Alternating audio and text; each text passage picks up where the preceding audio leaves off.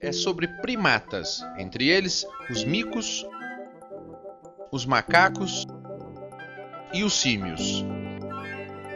Essa matéria também foi feita por um primata, porque o homem, na classificação biológica, também é um primata. Mas quanta semelhança existe entre nós e eles? Será que é realmente verdade que nós descendemos dos mesmos antepassados? Que a nossa genética é 99% igual? Mas quanto será 99% na prática? É isso que eu quero descobrir. Então resolvi passar um tempo com esses bichos e contar a história deles para vocês, sem dados técnicos, sem números, sem biologia nem genética, apenas tentando entender a personalidade de cada um deles.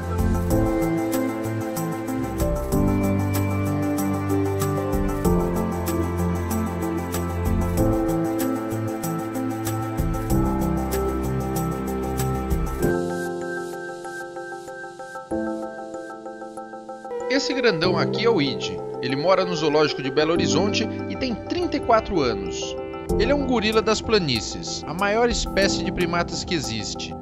Eles e os gorilas das montanhas estão extremamente ameaçados de extinção e provavelmente os meus futuros netos terão que assistir esse vídeo para saber o que é um gorila.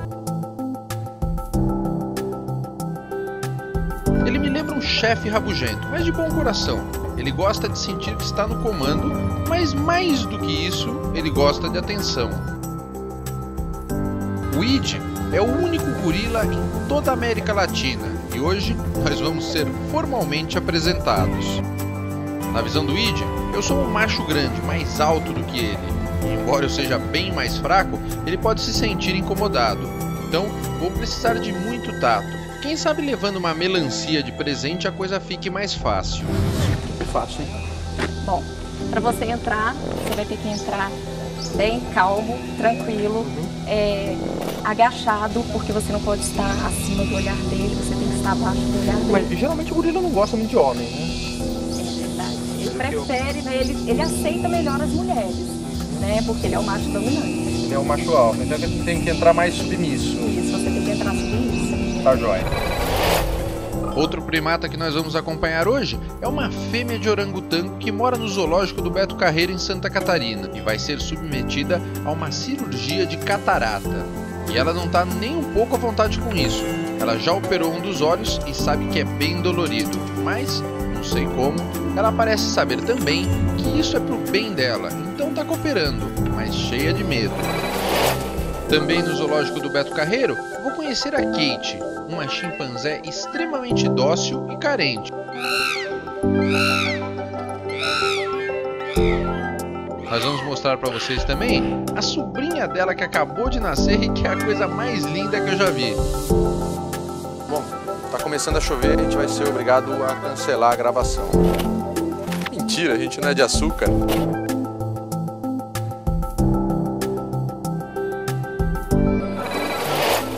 Mas vamos voltar para BH porque chegou a hora de entrar na área de contato com o gorila Id. Contato pela jaula, é claro. Mas se ele não me aceitar, simplesmente vai embora e não conseguiremos gravá-lo de perto. Então, esse é um momento decisivo. Vamos ver se a melancia que eu trago de presente ajuda a me deixar assim um pouco mais simpático. Eu trouxe pra você, tá ele, ele vai analisar cada um. Ele vai olhar cada um.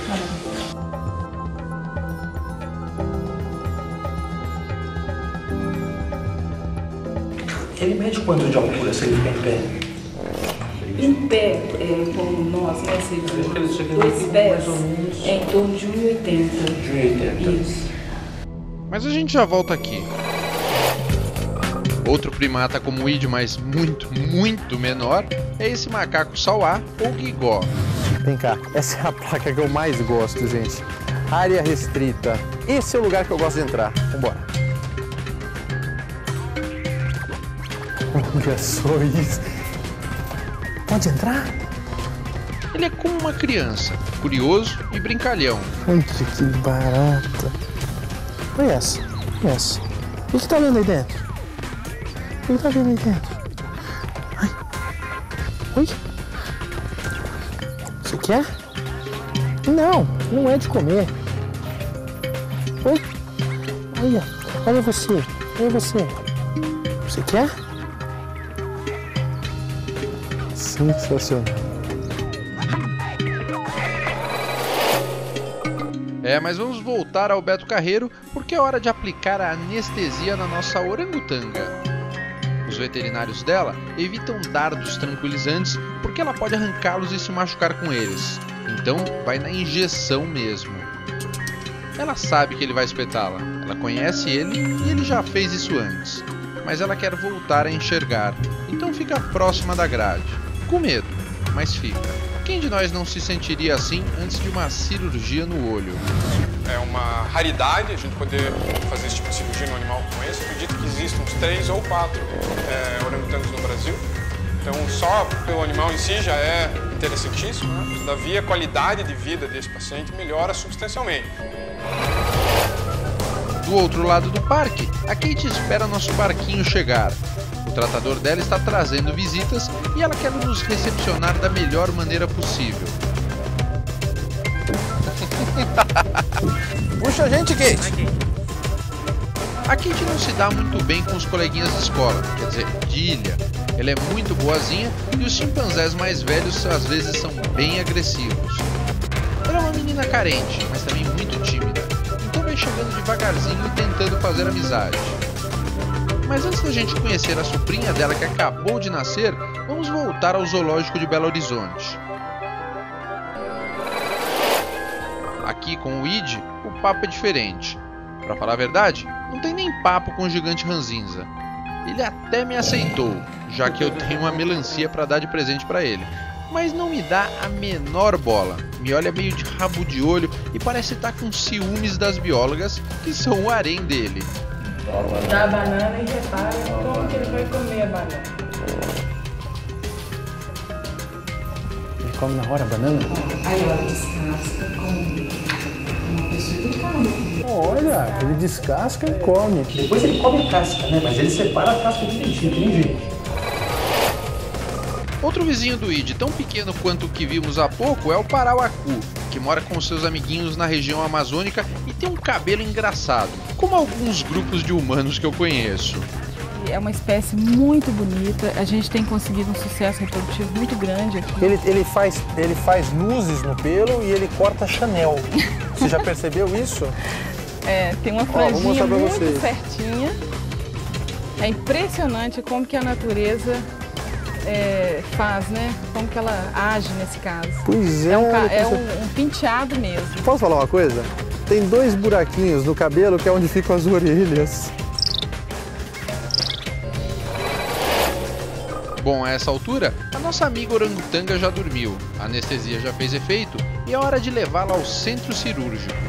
A preocupação do tratador é notória, igual de um irmão mais velho, mas pelo menos ela dorme tranquila e não vai sentir nada durante a operação.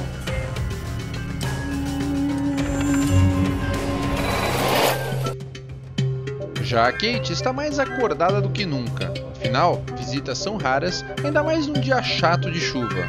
Aqui não tem muito o que fazer com esse tempo, então ela me convida para brincar com o extintor de incêndio.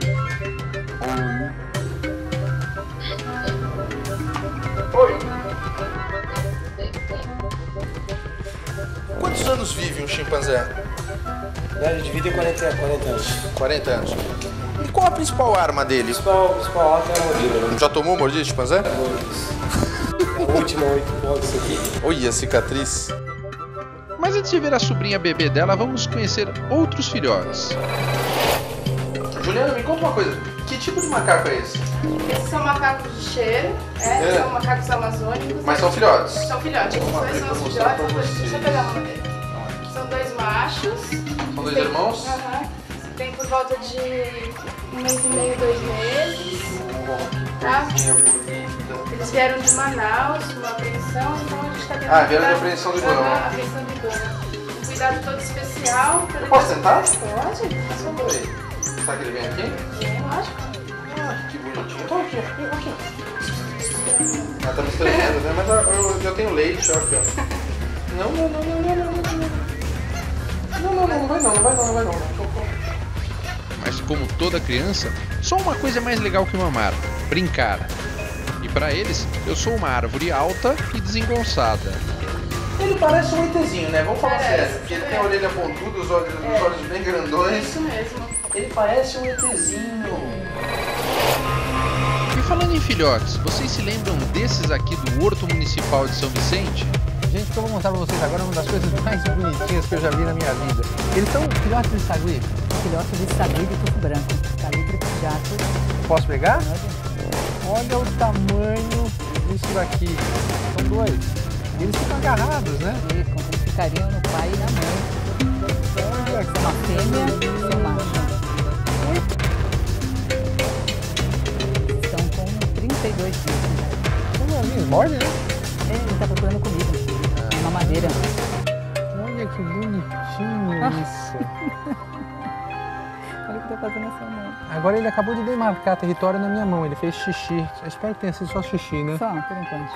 Por que eles não estão com os pais? É, por conta de alteração hormonal, alteração comportamental, a mãe, é, a mãe não soube cuidar, o pai já foi ficando nervoso também porque eles faziam rodízio, né, para que a mãe possa comer, possa se alimentar, ela passa os filhotes para o pai, ele já foi se irritando também e começaram a agredir e deixar eles comem mesmo, né, eles têm canibalismo. Então você tirou por Nós tivemos que precaução. tirar, a equipe de biologia tirou e agora eles estão sendo amamentados com seringa, né, alimentados com seringa, um leite especial preparado para eles e eh, já tem condições, já urinam e defecam sozinhos, Eu tô vendo.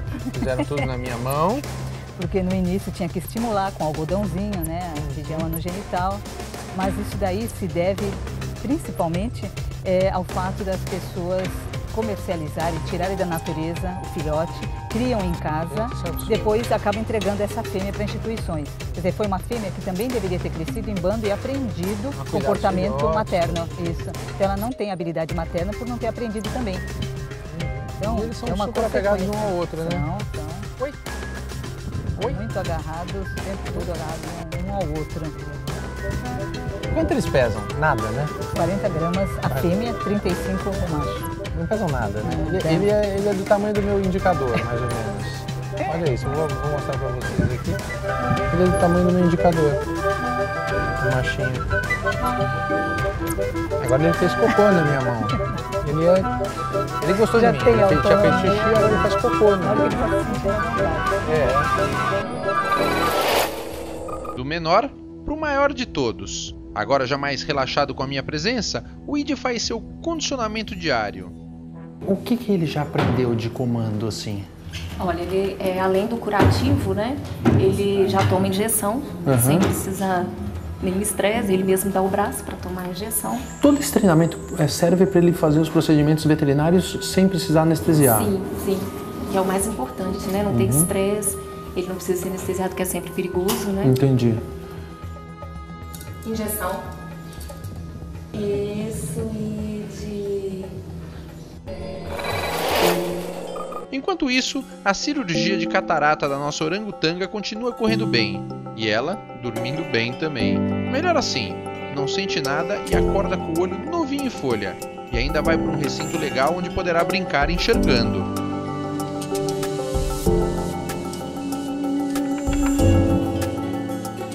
Vale lembrar que esse bicho era completamente cego das duas vistas e que essa cirurgia é inédita no Brasil. Logo ali do lado, no centro de primatologia do Beto Carreiro, a Kate, que já é minha melhor amiga do sistema solar, quase namorada, faz um pouco de catação para demonstrar todo o seu amor. Mais um pouco e eu já vou poder conhecer a sobrinha dela que nasceu há alguns dias e mostrar para vocês um bebezinho de chimpanzé. Agora, se vocês acham que a Kate tem um olhar especial, então vejam esse cidadão aqui.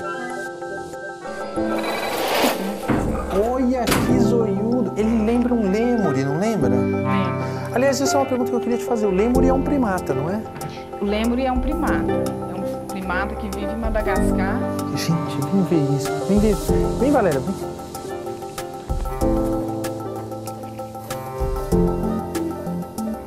Esse é o macaco da noite, né? Uma espécie que tem hábito de vida noturno, mas sempre em zoológico o animal acaba acostumando com o horário da alimentação, que a gente Entendi. oferece a a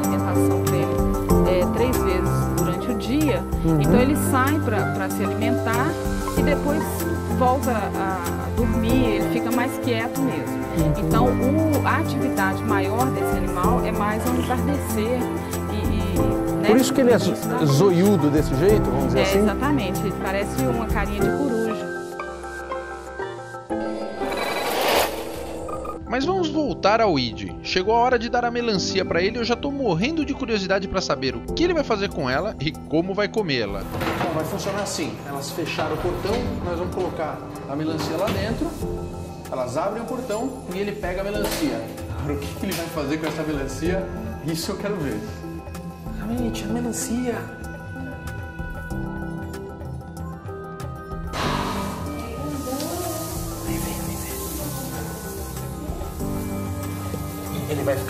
Contraluz, mas é só pra vocês entenderem. Então vamos deixá-la aqui com um pouco de bambu, um petisco que ele adora, na jaula intermediária para ele poder pegar. Opa, sem querer cheguei perto demais da comida dele. Foi mal, Id.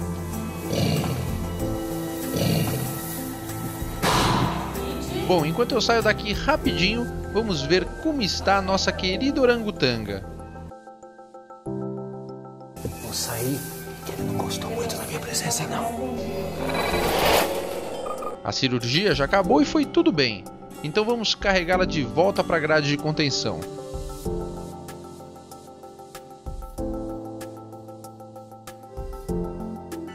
Agora os veterinários aproveitam para dar uma olhadinha nos dentes.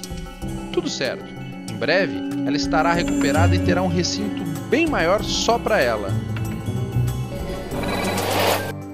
Bom, agora que o pior já passou e a nossa orangutanga já está bem, vamos aproveitar para ver a sobrinha da Kate, filha da Kelly. Olha só que coisa mais linda, gente. Esta é a Candy.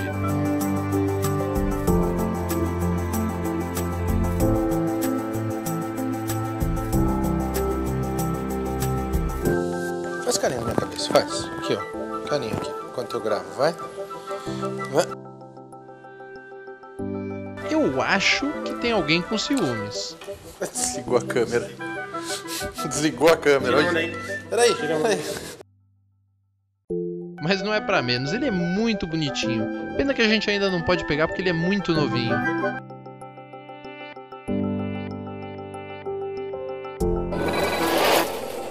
Mas chegou a hora que a gente estava esperando desde o começo da matéria. O Id vai finalmente pegar a melancia que eu dei de presente pra ele.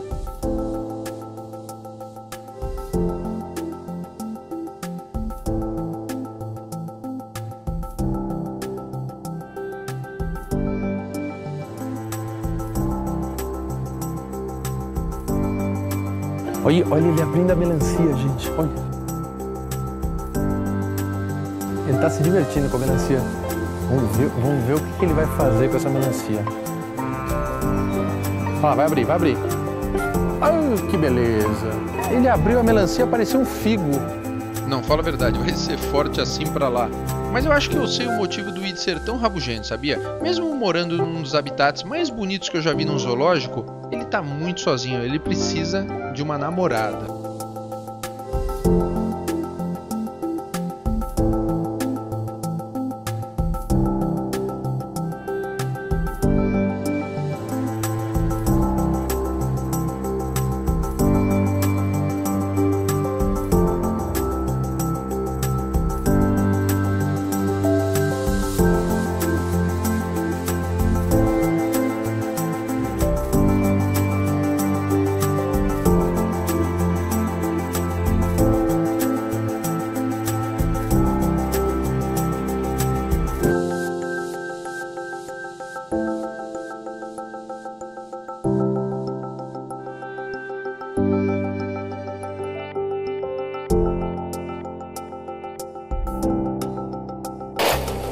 E a nossa fêmea de orangotango finalmente teve um final feliz. Ela voltou a enxergar, ganhou um viveiro enorme só para ela, e esse chapéu que vocês estão vendo é uma ideia dela. Ela improvisou com a vasilha de comida porque provavelmente a claridade ainda está incomodando bastante os olhos.